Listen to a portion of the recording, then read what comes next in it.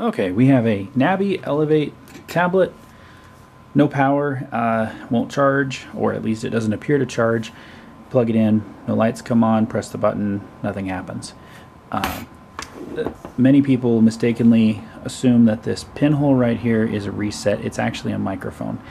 Unlike most other Nabis, this does not have a reset button. So uh, the only way to reset it, unfortunately, is to open it up and disconnect the battery. Good news is it's not really that difficult to do.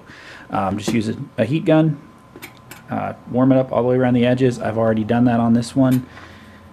Of course, you need a spudger uh, down the right hand side here. Now this, if the power button is on the top, this will be the right hand side. Uh, basically, you just uh, reach back oh, about a third of an inch or so and you can peel the adhesive back a little bit less, more like a quarter inch on the top and bottom, and only about an eighth of an inch down this side. Uh, if you reach in too far on this side, you can damage the cable. So I'm going to go ahead and just pop this out. As I said, I've already loosened it.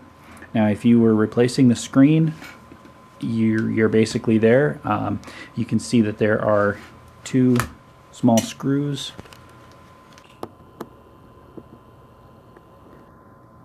that hold down a plate Underneath that, there's a simple clip, just like on an Apple device.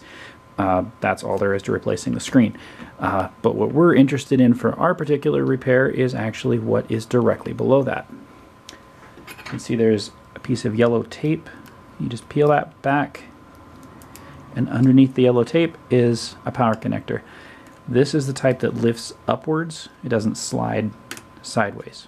So we lift it upwards like that, count to about five, and then put it back. And you do have to be a little bit careful. Uh, this plastic clip is actually very flexible. It's easy to get the pins in the wrong places. And I don't even want to know what damage would happen to it if you did that. So just make sure you get it straight. Put the tape back down. And there we go. It's coming back on. That is all that there is to it. The only remaining step, of course, is to glue the screen back down, which I'm going to use some 3M double-sided tape for. Uh, that's essentially just like any other device with a screen that's glued in. Unfortunately, there is not a wonderful tape for this. Um, the good news is this particular device you know is going to be used inside of a case, so at least that's going to help to keep the screen in. But um, that is all that there is to it.